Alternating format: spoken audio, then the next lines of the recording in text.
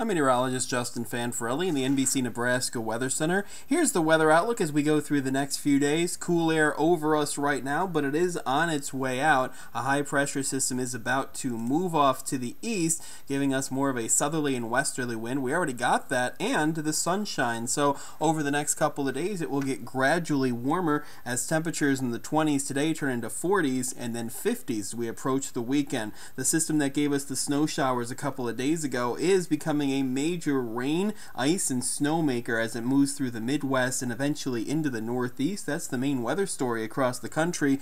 The eastern half of the U.S. is just mainly dry with these high pressures in charge.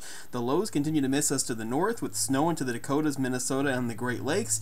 We just get this dry cold front. It'll increase the clouds and push us back to highs in the mid 40s for the day on Sunday. But other than that, we do have a nice mild and dry weather pattern ahead.